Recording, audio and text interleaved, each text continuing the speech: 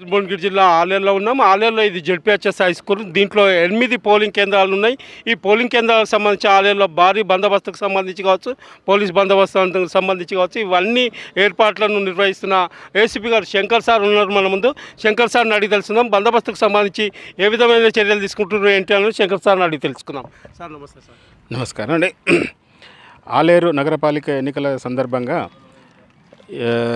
రేపు ఎన్నికల సందర్భంగా బందోబస్తు మేము ఇక్కడ దాదాపు ఒక డెబ్బై ఐదు నుంచి వంద మందితో వంద మంది పోలీసు విభాగంతో మేము ఇక్కడ బందోబస్తు చేస్తున్నామండి.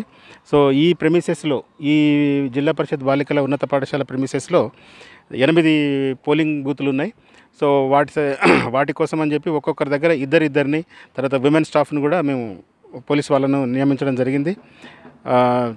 అన్ని ఓటింగ్ సక్రమంగా జరగాలని చెప్పి మేము కోరుకుంటున్నాము.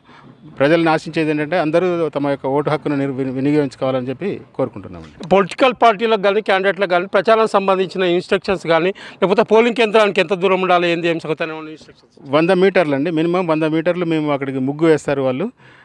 రెవెన్యూ అథారిటీ వాళ్ళు ముగ్గులు వేస్తారు. ఆ ముగ్గు ఆ ముగ్గు అవ- అవతలనే వాళ్ళు ప్రచారం అనేది బంద్ అయిపోయిందండి యాక్చువల్గా. అక్కడ ఉండి వాళ్ళు ఏమైనా అసిస్ట్ చేయొచ్చు. ఏమంటే ఓటు వాళ్ళకు తెలియని వాళ్ళకు అన్ఎడ్యుకేటెడ్కి వాళ్ళు సహాయం చేస్తూ తర్వాత వాళ్ళు చేయొచ్చు. అంతేగాని ప్రచారం అనేది నిన్నటి సాయంత్రం ఐదు గంటలకే అయిపోయిందండి. సార్ ఇంకోటి అంటే ఈ ఏరియాలో సమస్యాత్మక ప్రాంతాలు ఇప్పటికే గుర్తించి ఉంటుండొచ్చు. ఎక్కడ ఏంది నంబర్స్ కానీ అట్లా బందోబస్తుకు సంబంధించి.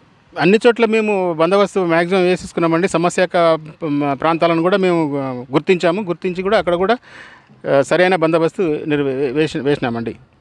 సార్ ఇది ఇక్కడ ఉన్న పరిస్థితి. అంటే మొత్తంగా ప్రశాంతంగా అదేవిధంగా పకడ్బందీగా నిర్వహించేందుకు ఇటు పోలీస్ శాఖ అటు రెవెన్యూ శాఖ సమన్వయం చేసుకొని ఖచ్చితంగా సీరియస్గా ప్రయత్నిస్తున్న పరిస్థితి. ఎలాంటి అవాంఛనీయ సంఘటన జరగకుండా పోలీసులు భారీ బందోబస్తును కూడా ఏర్పాటు చేసే అవకాశాలు